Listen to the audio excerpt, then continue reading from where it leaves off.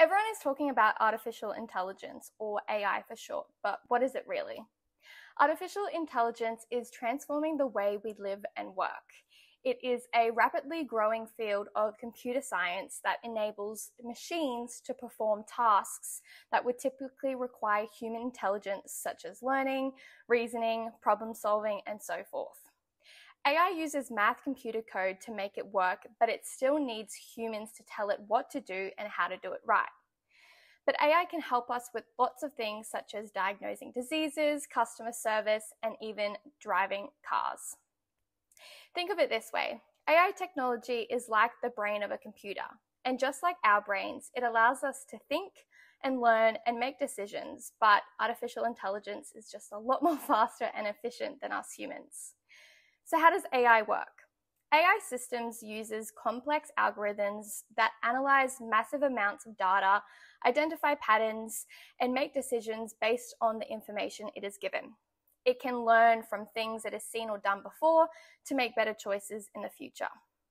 One critical part of AI is machine learning, which allows machines to learn from experience, just like we do. As machines learn, they can adapt to new situations and even generate new insights from this data. For example, let's say you run a clothing store and you want to know which items are selling the most. An AI system can analyze sales data and identify products which are most popular, allowing you to adjust your inventory and marketing accordingly. Basically, it's like having a super powered apprentice that keeps getting better and better at their job every day.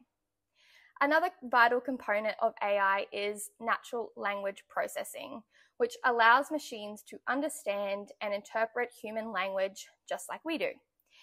That's why virtual assistants like Siri and Alexa can understand and respond to our queries. It's pretty amazing when you think about it, right? AI is already changing many aspects of our lives, from automating routine tasks to improving decision making. And as the field grows, we can expect even more significant changes in how we communicate and interact with each other.